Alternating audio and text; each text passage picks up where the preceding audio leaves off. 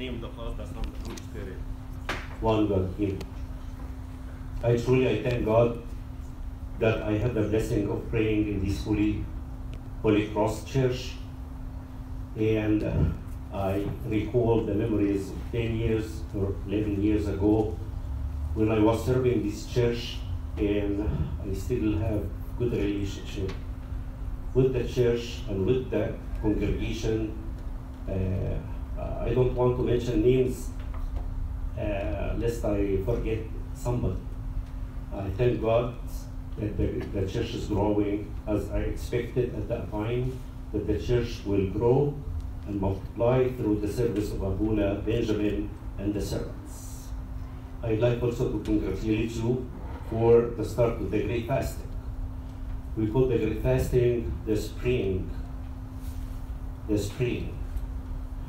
We don't see spring yet, but this is the spring of the spiritual life. If you use it, you will gain fruits.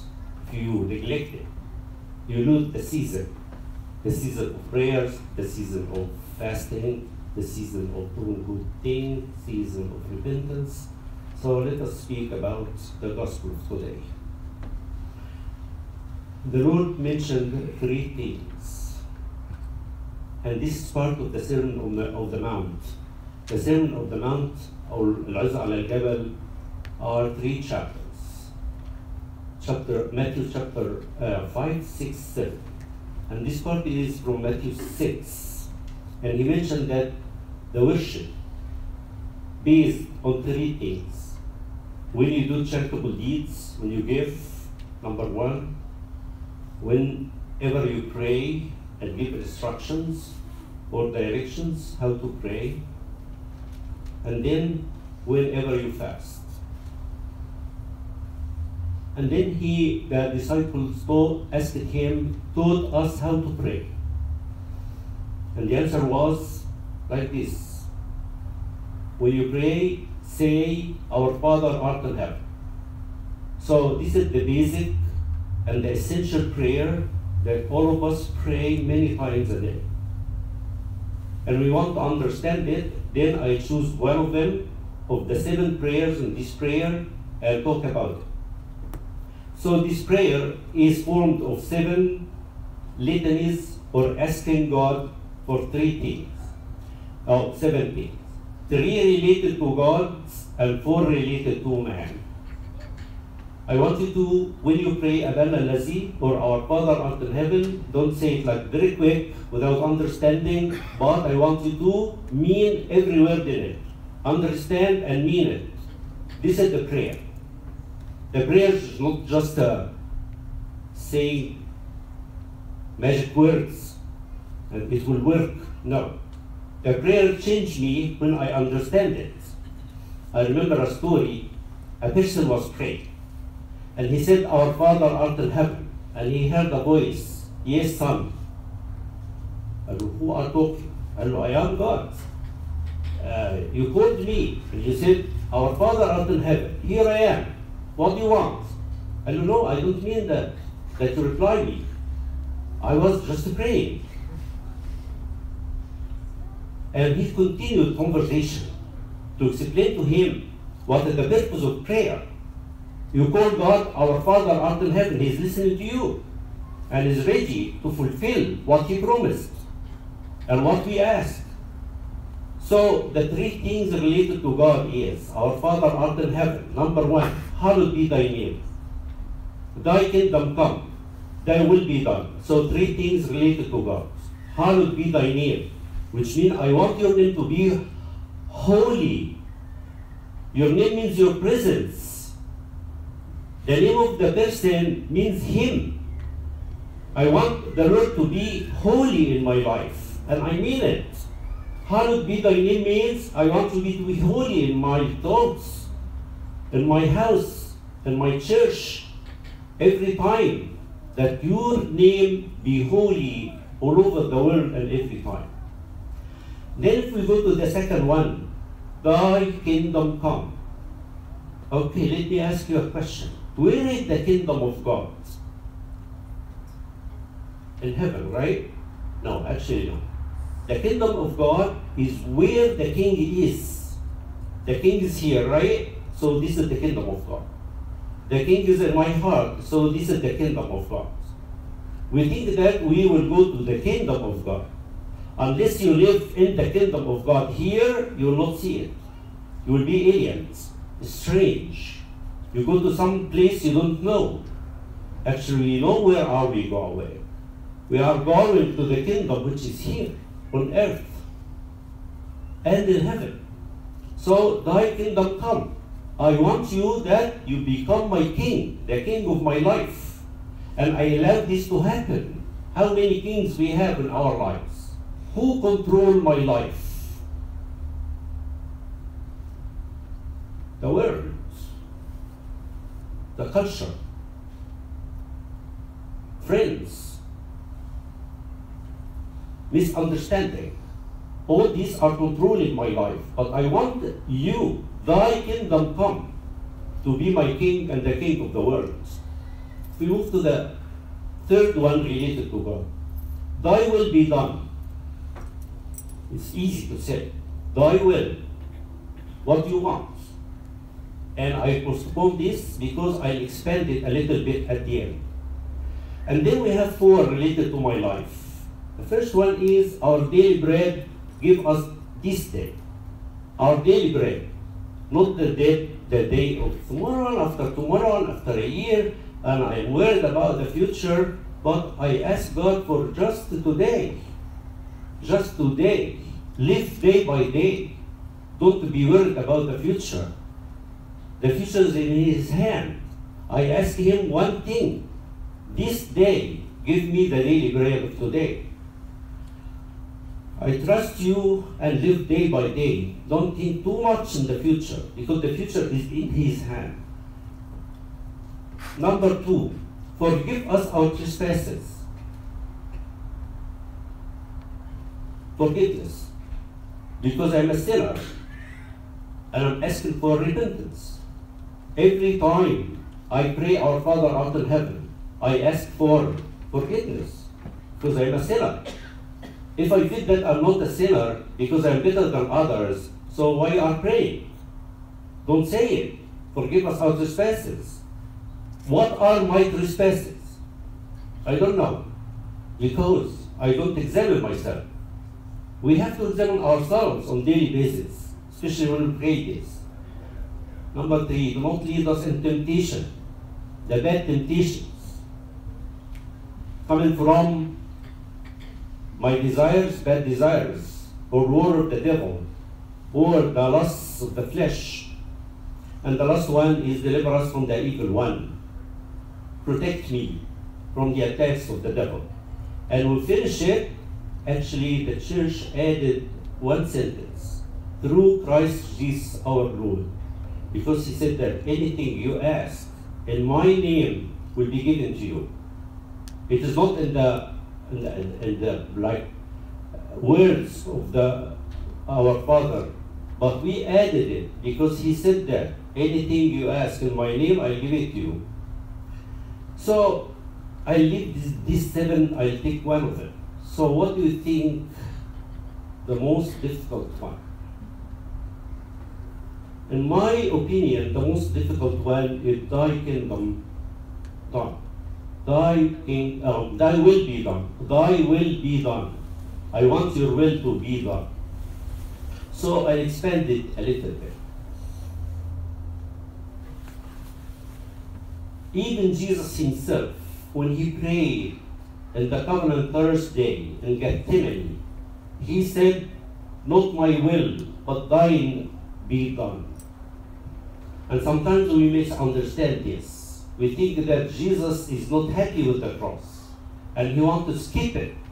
But actually, here Jesus is praying as the humanity. He took the humanity in him. And actually, he humbled himself. Even here he forsook his own will. Even it is perfect. And his will is exactly the will of the Father. But here is not speaking as divine.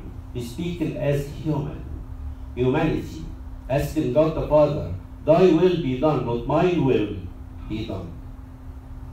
And we have some common questions. I am sure that really we want to, to know the, the will of God, especially when we take an important decision. Like, like the decision of marriage, the decision of joining school, like moving from city to city or from country to country. We only ask for the will of God whenever it is an important and crucial decision in my life. This is not correct. And the second one is how to know it. Yeah, we pray and we listen and we try to listen the voice of God, but many times I'm deceived because I listen to my own voice. I'm so comfortable with this decision. And this is the will of God. I'm not saying that this is not this is wrong, but sometimes we have deception. If you know it, would you accept it? You accept the will of God? Of course. But actually, the correct term is would you do it? And this is the point I want to stress. Is not only that God revealed His will, God already revealed all what He wants from me, be it legal or not. We should do the will of God. He will not do His will. He just declare His will. He was just to say, I want you to do this. And it is our duty and responsibility. When you know the will of God, you should do it. Listen to this. In Mark 3 35, whoever does the will of God is my brother and my sister and my mother. Whoever does the will of God. He did say that I will do my will. This means that he forces, enforces his will on us, and this is against his love and the freedom. If you know the will of God, you have to do it.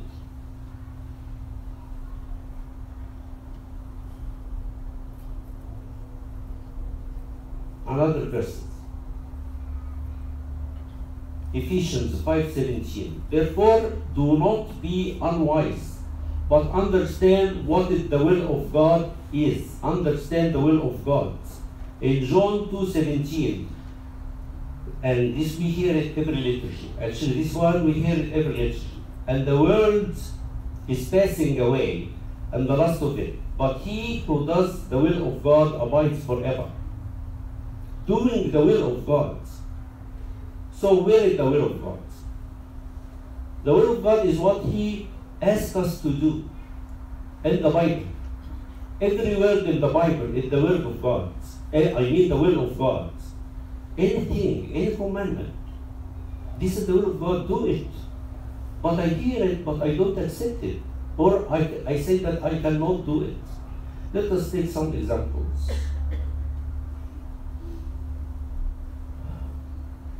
First one, Saint Mary. Saint Mary accepted and did the will of God. The will of God declared through Archangel. He said to her that you will conceive and have a, a baby, and this baby will be called the Son of God. He said, she said that, yes, please do it. I accept it. And actually, in uh, the first miracle, which is the miracle of Cana of Galilee, she said this word, whatever he says, the word of God, the word of God is what he wants. So listen carefully to the Bible. When you read the Bible, the Bible is for me, for everybody. It's personal. Don't say that ah, um, um, this verse is suitable for so and so, and this verse I cannot do it. Try There is a certain power in the commandment. But this is مش عايز اقول كلمة mandatory or obligatory. This is why accepted. We are Christians. So we accepted any word coming from God. Go to the Bible. How many verses I read every day? Every verse there is a will of God. And I'm not waiting that it will be done. No, I do it. I should do it. Move forward and do it. Saint Anthony agreed. Like he was uh, sitting in the church like this, and he heard a deacon saying one word, if you want to be my disciple, go sell what you have, carry the cross, and come follow me. This is the will of God. He said, This is the will of God. I do it. And he did it. Yeah. Okay, so there are levels, but at least I tried the first level. The word is for everybody. Sell what you have. This doesn't mean money at all. This means the ego. That you are like like you like it. Sell what you like. Your dignity, your prestige, whatever you like, sell it. This is the commandment of God. And many people like this. So, in the Vespers of yesterday, I'll take one example. What is the will of God? In the Vespers, in Matthew, and today in the Gospel. It's repeated for a purpose, but we don't hear. And we don't read. And I advise you, before you come to church, read the readings. If the message of today, what is the message of today? It's just not just the sermon, it's what's written in the Bible. So in this verse, he said this, whenever you stand praying, if you have anything against anyone, forgive him, that your Father in heaven may also forgive you your trespasses. Whenever you pray. If you have something against somebody, forgive him. It's a commandment. This is the will of God. I want us just today to understand that every word in the Bible is the will of God. Like loving one another is the will of God. He, want, he wants us to do it according to explanation of the Bible. Yeah, love one another as I loved you. And if you go to like the Epistle of St. Paul, he expanded and showed it how to fulfill it in method of today. And if he sins against you seven times a day, and seven times um, a day returns to you saying, I repent, you shall forgive him. Forgiving one another, as the Lord forgive us. And actually we say this in the prayer, forgive us our trespasses as we forgive those who trespass against us. And he said also, if you come to church for communion, and then you remember that somebody, you have something against somebody, leave your sacrifice and go reconcile. It's a commandment. It's the will of God. The will of God is to reconcile. And the first prayer we will pray now is reconciliation prayer. We have to be one. This is the will of God. And he mentioned this five times. In John 17, he prayed to God the Father. And he said that, I want all of them to be one, as you and I are one. How can we be one? By reconciliation, by the intention, by the act. Go and say hello. Go and say I'm sorry. Go and say let us reunite again together. And then we are eligible to take communion, which makes us all one. One bread, one faith, one body. We become one body through communion. But we have to reconcile. Go to every word in the Bible. This is the will of God. When you say, Thy will be done, it is not easy. God will not, will never do His will unless you do it. Then He will help. Then He will fulfill His will. And the will of God is good. The Bible says so. The will of God is good, fruitful, and um, mature. If you go to the Romans 12, verse 1 and 2. So this is the will of God. And finally, I'll finish with these three things. What should I do for the will of God? Number one, knowledge. To know the will of God, you have to read His recommendations. Recommendations are in the Bible. If you don't read the Bible, how can you know the will of God? Never know it. So if you don't know it, I'm ignorant. The Bible says that my people perish because of ignorance. Do not ignore it. And as I told you, it's special. Don't dis- distribute it to everybody. This is suitable for my husband, my wife, my kids, my neighbors, the person beside me, and all that. No, it is me. It is me. Point to yourself. Point to your heart and thoughts. Thy will be done, I do it, if I know it. So sometimes we need guidance from the Father of confession and trust the will of God. May the Lord give us understanding where the will of God is and accept it and do it. To Him the glory forever. Amen.